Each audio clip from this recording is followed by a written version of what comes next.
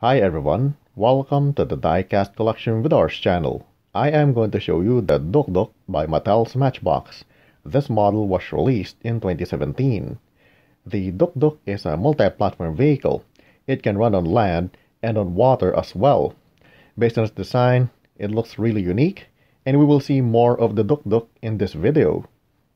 The Duk Duk is rather unique in appearance because aside from being a car, it does look like a boat.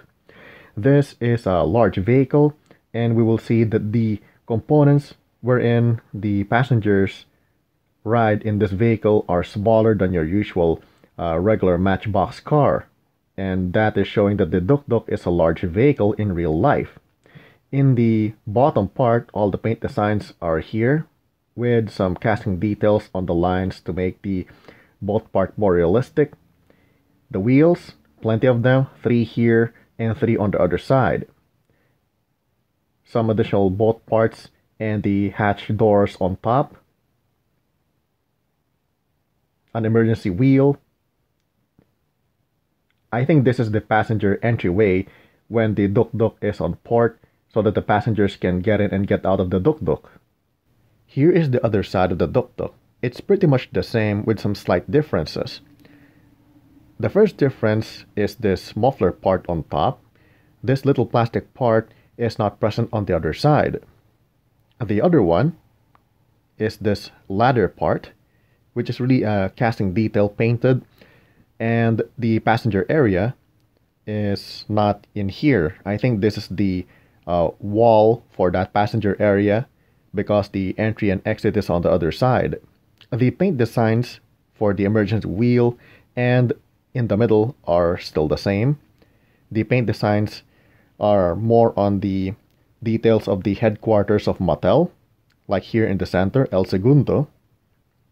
There's a name here, Captain Jerry D. Cody. He might be the designer of this model. A fictional company for this Duk Duk. Multiple lines are connecting here in the front. The lines on the sides are connecting here in the center, just like a real boat. Some half circles on top. I think these are the lights for the Duk. Here are the other set of lights. In the center, on top, some details for the hatch door. More boat parts and car parts are here at the back. In the yellow plastic base, there's a shape for the propeller so that the Duk Duk can use that to move itself forward while on water. There are forms for the brake lights on each side on the gray plastic part. On top, on the roof part, that is a folded canvas that can be used to cover the part for the passenger area when there's rain or too much sun. There are additional details here on top and most are on the front which are the hatch doors. And I think that is the tool to haul some uh, things on the sea or even on land when needed. A spare emergency life-saving tire just in the middle. The muffler part on the right side. I think these are vents on the roof. This might be an additional vent or maybe a storage area.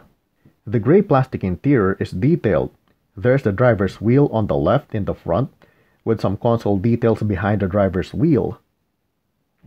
Car seats starting in the front, multiple of them. A total of 8 car seats are in this Duk Duk.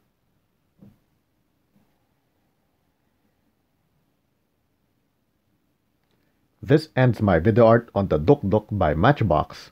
Thanks for watching, enjoy our collection, and see you with the next model.